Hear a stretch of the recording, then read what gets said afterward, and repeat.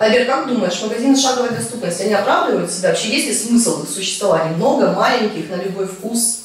Я думаю, да, но как бы если бы не было бы смысла, то их бы не было бы, они бы просто самоликвидировались бы, потому что были бы нерентабельны. Но видишь, там же ведь что, там все такое, что люди либо не докупили где-то, да, там в сетях крупных, либо просто вечерком там захотелось там мороженого, или там захотелось там пивка там с чем-то там, я не знаю, там что-то сушеное, что-то там, какие-то чипсы, там все такое. вот. Поэтому я думаю, что в принципе магазины шаговой доступности, они будут продолжать свою деятельность, потому что они все-таки нужны, но цены там, конечно, завышены по сравнению с сетями. И, конечно, по качеству там больше нареканий. Я думаю, что э, там можно легче нарваться на просроченную продукцию, на продукцию, которая там осталось там пару дней дышать там, где уже год там прошел там и так далее, там пару дней осталось буквально, что такое.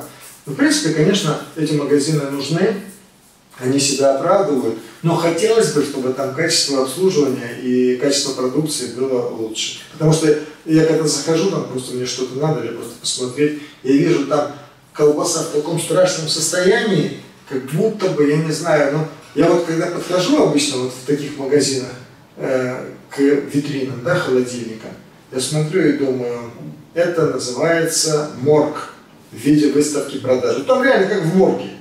Ну просто вот, вот морг натуральный. С синей, в кожаной Да, да, да, да. Так что, конечно, не актив. Но я очень рада тому, что эти магазины у нас закрываются с регулярной, такую постоянство, с таким регулярным достаточно. И думаю, что все-таки Краснодар хотя бы скоро выйдет на уровень того, что их будет немного, но они молодцы будут биться, чтобы мы к ним ходили специально покупать только у них. Я тебе скажу, что я остаюсь сторонником того, чтобы, будем так говорить, были магазины, предположим, ну, образом, например, там, магазин пекарня, здесь все да. печется и продается. Здесь, например, предположим, небольшой цех по производству колбас, и тут же все продается. Здесь цех небольшой по производству сыра, и тут же продается. И человек понимает, он заходит туда, и он понимает, что там постоянно хорошее качество, там постоянно все свежее, и там нормальная приемлемая цена, потому что тут же производитель, и тут же все это дело продается. Вот я за то, чтобы как можно больше было таких магазинов, я тогда знал так. Сейчас пойду туда, куплю то, потом зайду туда, куплю это. Лучше так, чем заходить в какие-то сети и, или вот магазины шаговой доступности и покупать просто продукты, состоящие из химикатов.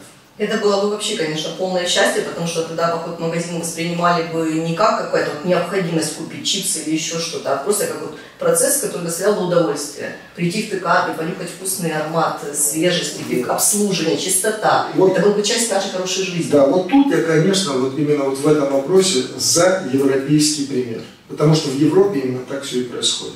Э, в той же самой Италии, Испании, Франции. То есть там э, небольшие торговые точки, где это все изготовляется, и при этом это, будем так говорить, э, торговая точка с вековой историей. Там она может быть основана и в 1915 году, и в 1834 году, и в 1729 году, и все это по традиции переходит, там пивовары, сыроделы и прочее. Вот нам этого не хватает. А нам просто шлепают вот эту вот химию и разбрасывают. И то же самое и в сетях, и в магазинах шаговой доступности. Но в сетях, если хотя бы все это быстро покупается, и там меньше шансов нарваться на просрочку. А в магазинах шаговой доступности запросто. Так что нехорошо все это.